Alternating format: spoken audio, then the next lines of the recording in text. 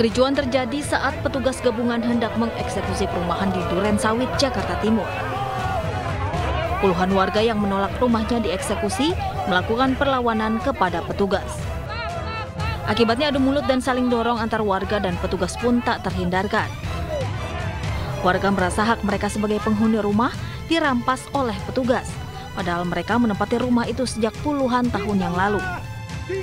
Warga juga meminta petugas menunda eksekusi karena proses banding di Pengadilan Tinggi Jakarta masih berjalan. Warga ingin uh, agar proses banding ini sampai berkekuatan hukum tetap proses yang diajukan warga ini bisa ditunda eksekusi sampai di sana. Karena apa? Kita sedang mengajukan upaya hukum luar biasa, yaitu perlawanan pihak ketiga.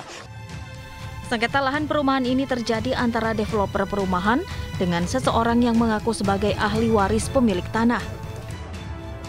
Akibatnya warga melakukan upaya hukum dan melakukan banding ke Pengadilan Tinggi Jakarta. Dari Jakarta, Nur Aryadin, iNews melaporkan.